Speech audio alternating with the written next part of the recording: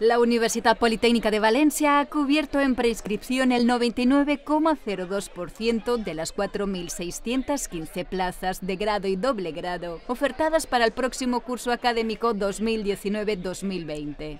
Esta cifra representa con respecto a otros cursos un aumento del 7%. La demanda crece con respecto al 10-11, tenemos el, el mejor dato de esa serie histórica con 13.314 entendemos por demanda las plazas asignadas más lista de espera. No contabilizamos las solicitudes que tienen alumnos porque como sabemos que pueden marcar hasta 20 no tendría un valor estadístico de nivel. Entonces, ese dato sí es, es muy importante.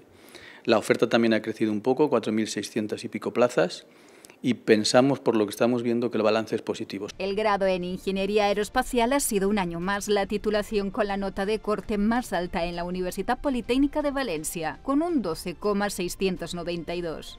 Al grado en Ingeniería Aeroespacial le sigue con un 12,564. El grado en Ingeniería Biomédica que se imparte en la Escuela Técnica Superior de Ingenieros Industriales.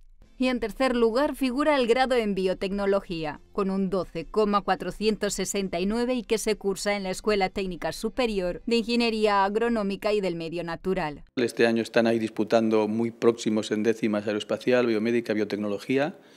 Están en una horquilla, el primero creo que tiene 12,60, 12,50 y 12,40. Es, la competición es, es muy, muy justa, pero el otro día se publicó también una noticia de todo el conjunto de titulaciones y esas tres están muy bien situadas en todo el sistema universitario valenciano. Por lo que respecta al nuevo grado en Tecnología Digital y Multimedia, que cuenta con 240 personas preinscritas y 234 en lista de espera, tiene un 8,63 de nota de corte.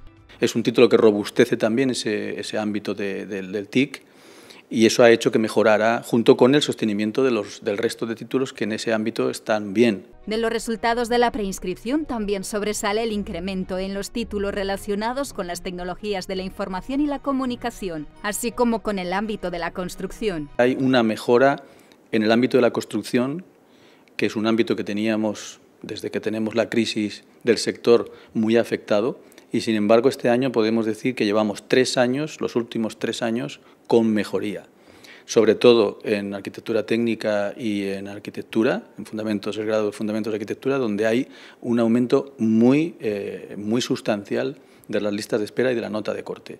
Pero incluso las titulaciones como civil, obras públicas o, topografía, mirando la serie histórica en los últimos tres años hay una mejoría, con lo cual hace pensar que el sector está repuntando y eso es fundamental para un campus como el nuestro que tiene esas titulaciones. De la oferta formativa de los campus de Alcoy y Gandía destaca la consolidación de sus grados y el aumento de la demanda. En el campus de Alcoy hay una mejora de 164 estudiantes y en Gandía 97 estudiantes, siendo además que eh, el grado de ciencias ambientales tiene la mejor, el mejor dato de su serie. En total, para el próximo curso académico, la Universidad Politécnica de Valencia oferta 47 títulos de grado y doble grado.